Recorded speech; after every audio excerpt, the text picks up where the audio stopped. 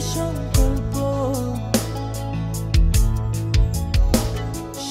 অল্প অল্প করে বদলে যাচ্ছে অল্প